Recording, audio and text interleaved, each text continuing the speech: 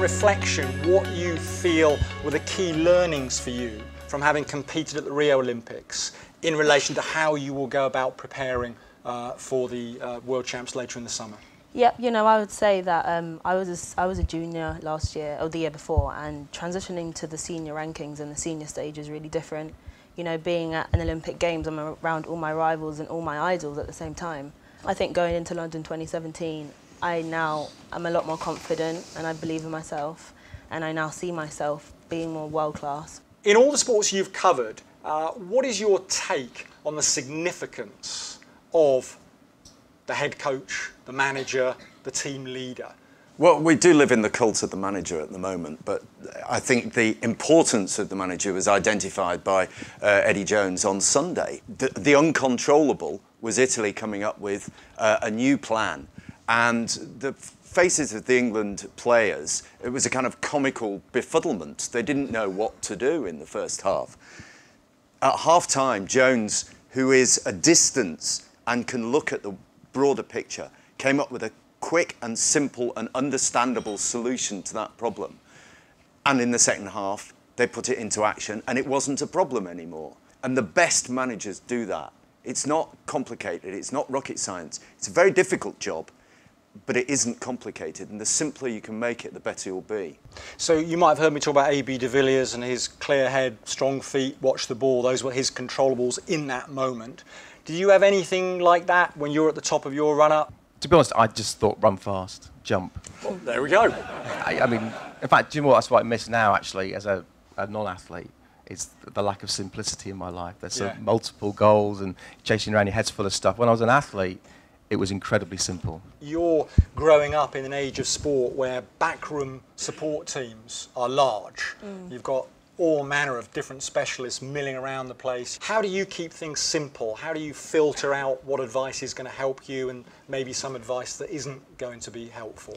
So I like to just keep it really simple. You know, I have my main coach, um, my medical team, and then a psychologist that I work with, and then that's enough for me. I have my mum, who's great support, and my family. But um, apart from that, I don't like to overcomplicate things. It is as simple as just running um, as fast as you can at the end of the day. So, so you've been out in what we might loosely refer to as the real world um, for quite a few years uh, since the world of sport. Could you briefly talk about how you've applied some of those skills and principles in whatever else you've done in life uh, since? I mean, mostly it's been TV, and there's a lot of similarities. You spend a lot of time off camera getting ready for your moment on camera that sort of moment when somebody's counting down in your ear and you think, I haven't got a clue what I'm going to say is terrifying. Obviously. but a bit like standing on the end of the triple jump runway, I'm thinking, even though you know I might know I can do it, the doubt that used to go through my mind was incredibly profound. But understanding that that moment of fear and utter terror wasn't going to stop me doing what I was about to do, whether it be triple jump or whether it be presenting on television. I mean, there were times leading up to major championships where I would want to be anywhere else in the world but at major, major championships, even though that's what I trained for. When I was actually in it, I enjoyed it, but the lead up to it was absolutely excruciating.